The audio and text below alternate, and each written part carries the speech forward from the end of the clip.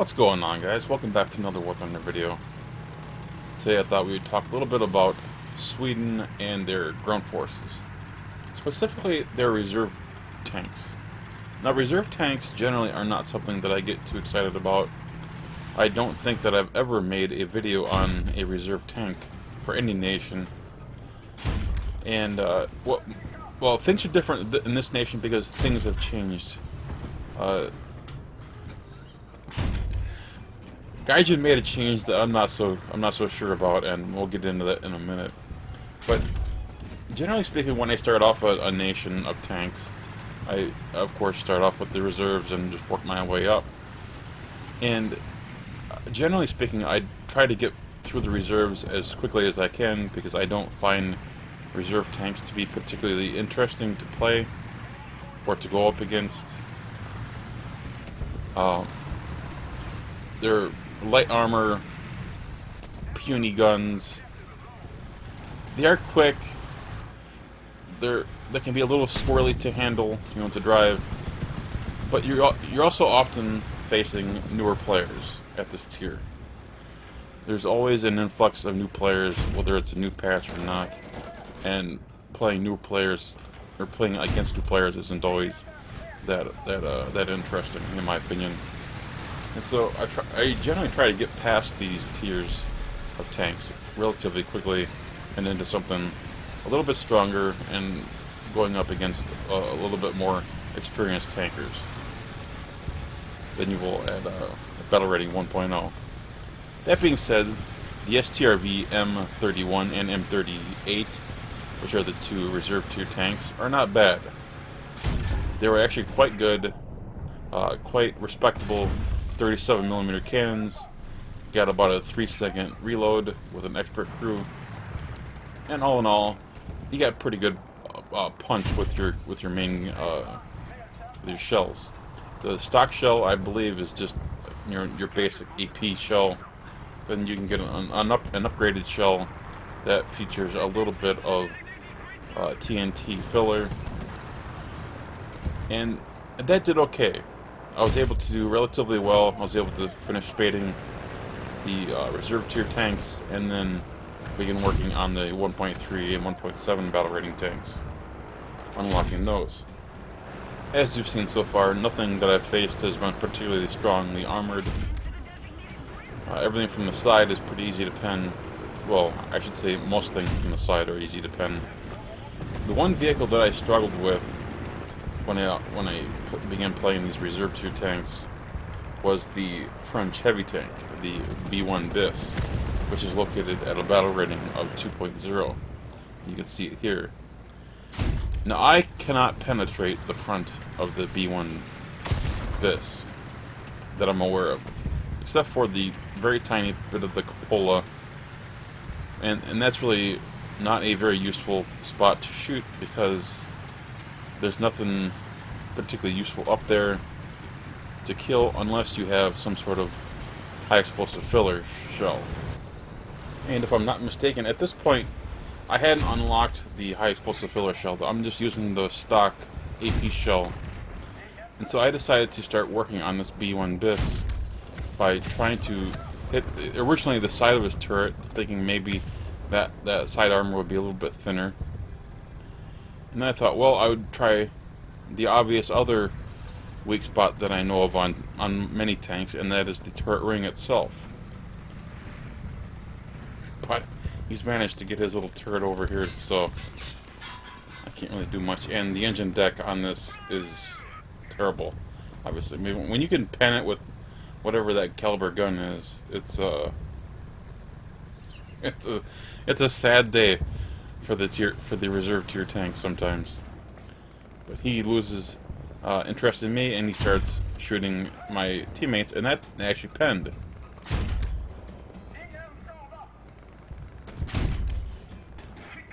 That penned, but look at the damage it does. I'm sure we, we blackened the breech, we blackened the turret ring, but we only made the uh, the gunner red. I mean, it's not particularly useful. and so, all I could do is just, is just whittle away at this guy so hopefully maybe I could kill him, but I never actually ended up doing this. I would shoot him until I basically ran out, ran down to like three rounds of ammunition, and had to go to Charlie to reload. And uh, guess what was there? Another B1 BIS.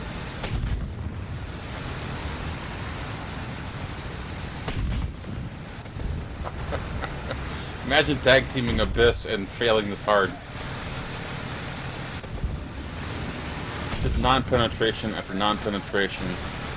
I did get a couple of penetrating shots there, but you know when you run out of ammo, what, what can you do? I, I, suppose I could have blocked this, the the BIS from turning so that my teammate could could get a, a, a clean shot on him, but I don't know. I I I wasn't feeling particularly brave, I guess. Instead, I tucked my I tucked my tail between my legs and I went to the cap, and he actually got him. He actually got the BIS. That's impressive. So after after dealing with the uh, stock shell for a while, I, I, eventually unlocked the upgraded shell.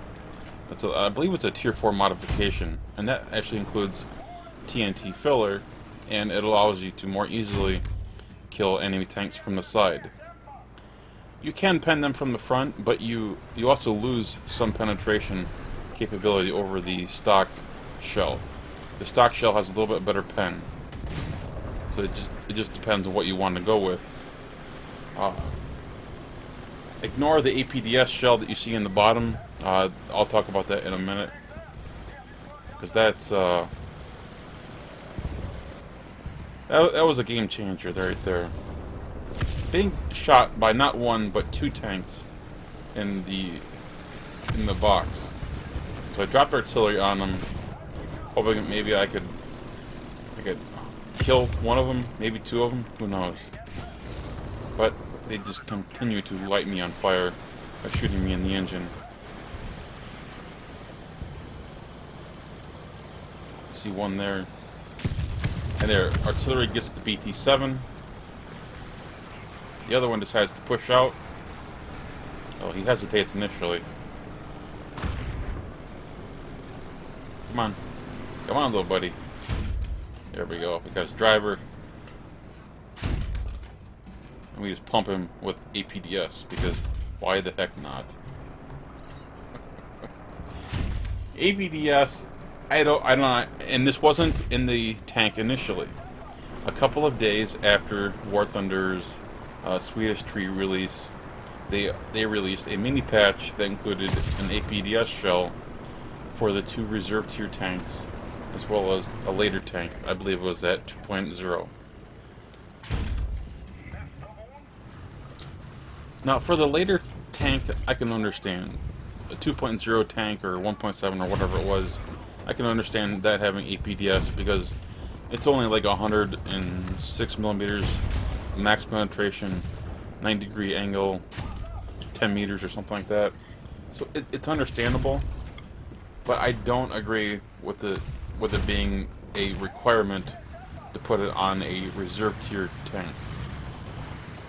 100 millimeters of pen at 1.0 is a bit of of a stretch, in my opinion. Um, you can pen everything you face without without any sort of problem. And I know people are going to say, well, it's APDS, it's kind of like APCR, it's got high penetration, but it bounces on, on angled armor, and it doesn't have very good post-penetration damage. Well, I would agree with that. I would I would counter that by saying that most early tier tank design were to cram a bunch of crew into a teeny tiny space, and it doesn't matter what shell you have. If you can pen the tank, you're going to be able to pretty easily kill the crew members. Sometimes it's going to take one or two shell or shots but it really doesn't matter if it has high explosive filler or not. In my opinion, they made these reserve tier tanks a little bit too strong. But that helps Sweden a little bit later, because you can add this to your lineup. You can you can take your 1.3, 1.7 battle rating tanks. You can add these reserve tier tanks to your lineup, and you can actually still have a vehicle that is quite usable. When you consider the fact that Sweden has a lot of low-tier tanks that don't have a turret, it makes the reserve tier tanks just that much better. You can be a, a formidable fight fighter against uh, a lot of vehicles that do have turrets, and uh, the APDS shells are really, really strong, as you saw in the highlights in today's video. And guys, I hope you enjoyed today's video. If you did, click that thumbs up button. And of course, if you're new to the channel, please subscribe. Take care, guys.